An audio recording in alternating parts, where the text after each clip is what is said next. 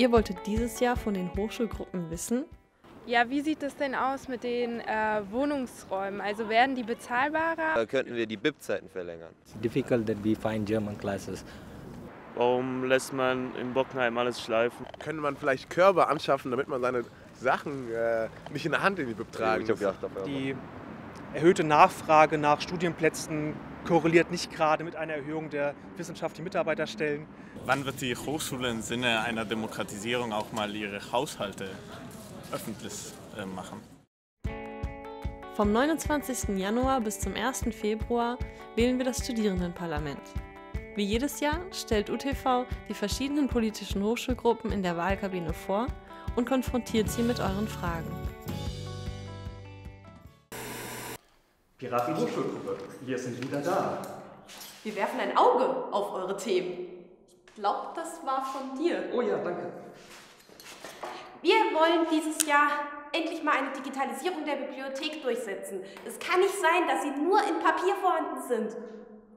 Außerdem setzen wir uns ein, dass die versunkenen Campi wieder mehr Beachtung bekommen. Darunter fallen zum Beispiel Genheim, Riedberg, Bockenheim und Atlantis. Und wir wollen eine Beibehaltung des Quartier Latin. Es kann nicht sein, dass die Karnevals, Faschings, Fassenachts, nennt wie es wollt, aber die Veranstaltung in Frankfurt nicht mehr stattfindet. Piraten Hochschulgruppe. Was kann denn schon passieren? Nur Gutes. Ich glaube, ich muss dich nachjustieren. Oh ja, danke.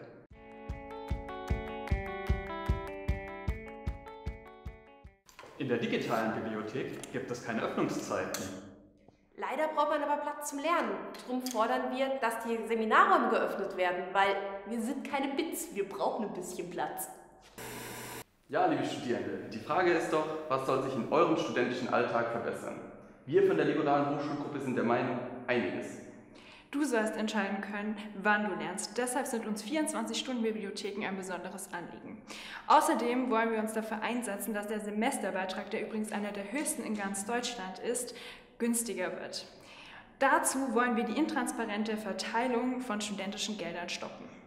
Ja, und derzeit sind wir dabei, uns aktiv auf dem Campus Riedberg für eine studentische Kneipe einzusetzen und darauf würden wir gerne mit euch anstoßen. Also selbstbestimmteres Studium, günstigeres Studium und eine coole Kneipe. Also vielen Dank für eure Stimme.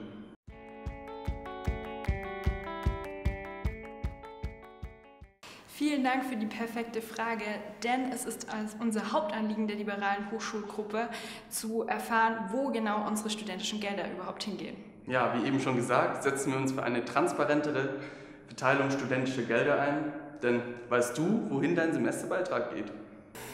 Liebe Studierende, es geht wieder an die Uhren und die Rat jetzt steht wieder zur Wahl. 2017 habt ihr uns ein fabelhaftes Wahlergebnis beschert und wir konnten viele eurer Wünsche umsetzen.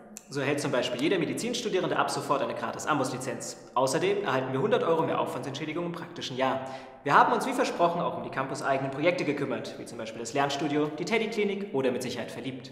Das heißt Kontakte vermittelt, mitorganisiert, Ausrüstung und Finanzierung sichergestellt, aber wir haben immer noch Hunger. Und wir haben immer noch keine richtige Mensa. Deshalb begleiten wir den Bau und die Planung der neuen Mensa zusammen mit der Klinik, der Universität und dem Studentenwerk für genießbares und bezahlbares Essen am Campus Niederrad. Gib uns deswegen dieses Jahr wieder deine Stimme. Für dich und deinen Campus.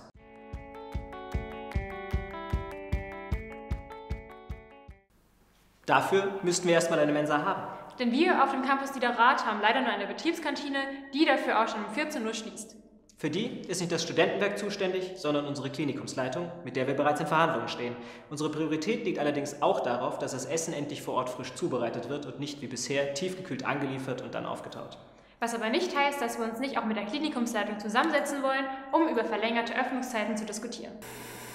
Vandalismus, Anfeindungen, extremistische Ideologie, aufgeblasene Debatten bis um 1 Uhr nachts. Kaum zu glauben, aber das ist Hochschulpolitik hier in Frankfurt. Wir vom RCDS, die Studentenunion, stehen für eine Politik der Mitte, die jeden erreicht.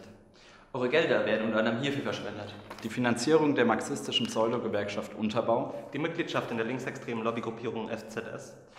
Die horrenden Druck- und Portokosten könnten wir dann durch die Digitalisierung der Asta-Zeitung einsparen. Das sind nur einige Beispiele für die dubiose Haushaltsplanung des AStA. Mit all diesen gesparten Geldern könnten wir Dinge realisieren, die wirklich relevant sind. Längere Mensen-Bibliotheksöffnungszeiten, kostenloses Drucken und eine gleichzeitige Senkung der Semesterbeiträge. Dafür brauchen wir deine Stimme. Für den RCDS, die Studentenunion.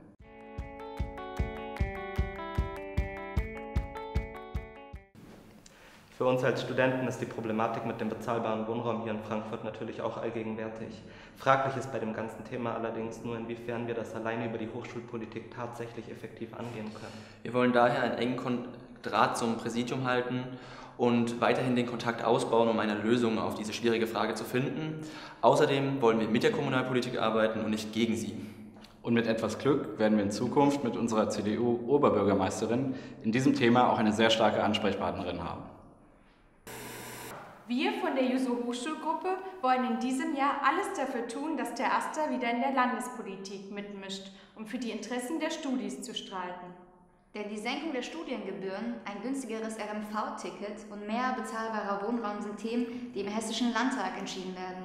Doch auch vor Ort setzen wir uns für bessere Studienbedingungen ein, wie zum Beispiel die Abschaffung der Anwesenheitslisten, längere BIP-Öffnungszeiten und mehr Seminarplätze in allen Fächern. Genauso wie für konkrete Verbesserungen im Uni-Alltag, wie Abendmensen und den Ausbau des fleischlosen Angebotes. Auch den Erhalt des Quartier Latin, ein eigenes Studiehaus für den Riedberg und Awareness-Strukturen an allen Campi gibt es mit uns. Wir stehen für eine Politik der offenen Türen. Wählt die Jusos.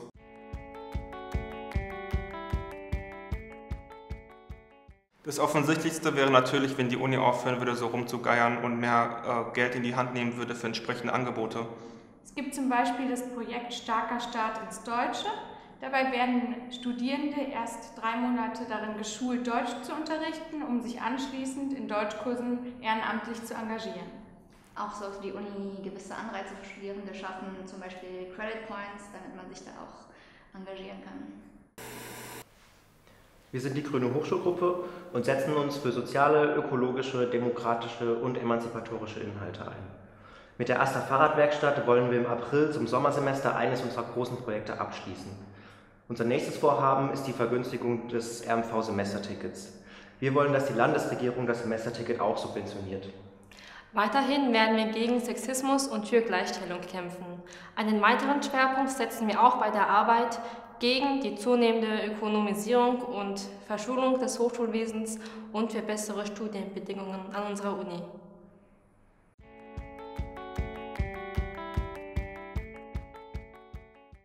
Die Unileitung legt bei der Instandhaltung und Betreibung leider mehr Wert auf die anderen Campi, sodass kaum noch in den Campus Bockenheim investiert wird.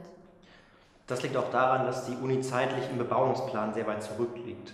Darunter leiden insbesondere auch die Studierenden. Wir warten immer noch auf die Fertigstellung des neuen Studierendenhauses am IG Farben Campus.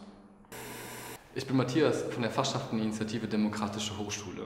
Wir wollen eine Hochschule, an der wir unter guten Bedingungen studieren und an der wir studentische Kultur feiern können. Dafür setzen wir uns gegen Leistungsdruck ein, etwa durch Anwesenheitslisten oder durch unflexible Prüfungsordnungen.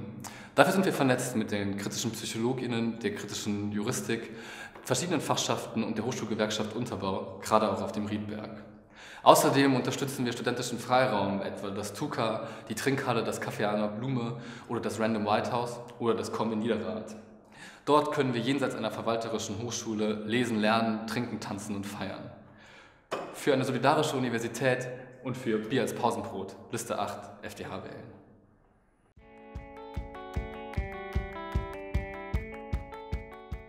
Der Verwaltungskostenbeitrag stellt nichts anderes als versteckte Studiengebühren dar. Sie müssen aus dem Studierendenbeitrag gestrichen werden. Dafür setzen wir auf verschiedenen Ebenen an. An der Goethe-Uni machen wir Druck auf das Präsidium, um hier schnelle Lösungen zu finden. Auf Landesebene vernetzen wir uns mit den anderen Asten, um hessenweit versteckte Studiengebühren abzuschaffen.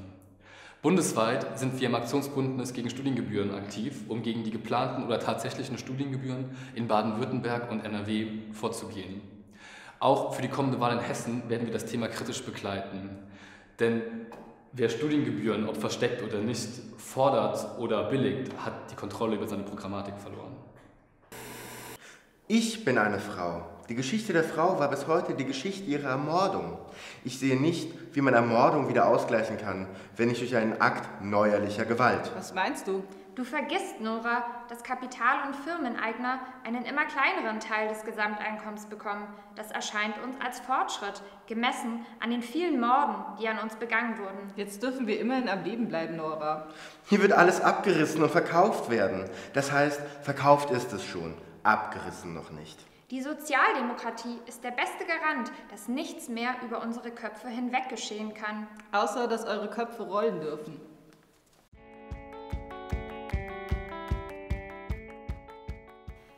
Frage stellen wir uns auch. Wir denken, das hat mit dem kapitalistischen System zu tun, was Wissen und äh, Bildung klassenförmig anordnet. Faktisch lässt die Universität die Studierenden am ausgestreckten Arm verhungern. Entweder man hat die, äh, man hat die Möglichkeiten, sich das zu leisten, Nachhilfe, Bildung und gleicht damit den Mangel an Lehre aus, oder eben nicht. Und damit wird man wieder vor eine Klassenfrage gestellt, vor die Möglichkeit, kann man es sich leisten.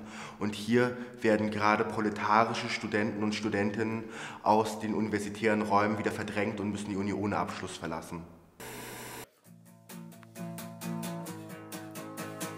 Jürgen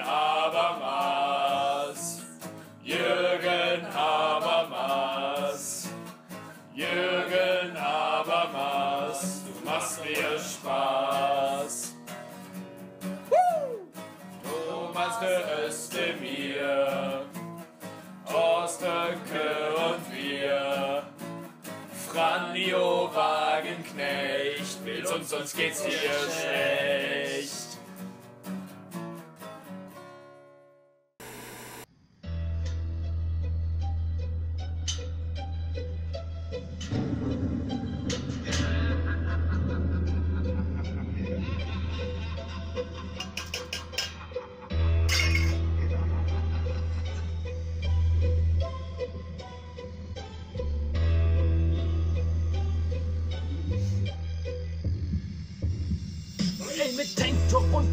Geht's rein ins Finanzamt. Holt die DL drei Sitze, Bitch, das reicht für den Anfang. Fraktionsgeld, Korruption, mit der Kohle erstmal essen gehen. Wir sind für euch das Ende, so wie die Kroko für die SPD. Danke Merkel, wir machen die Jusos platt und destillieren unseren Schnaps nur noch aus Hustensaft. Ab jetzt wird zugepackt, wir sagen gute Nacht und wir verbrennen eure Fahnen dann in einem U-Bahn.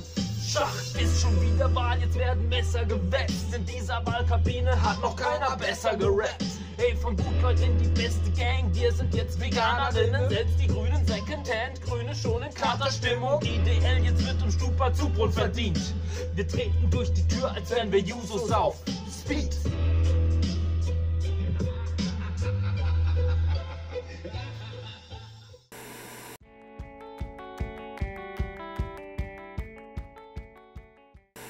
RCDS die vierte.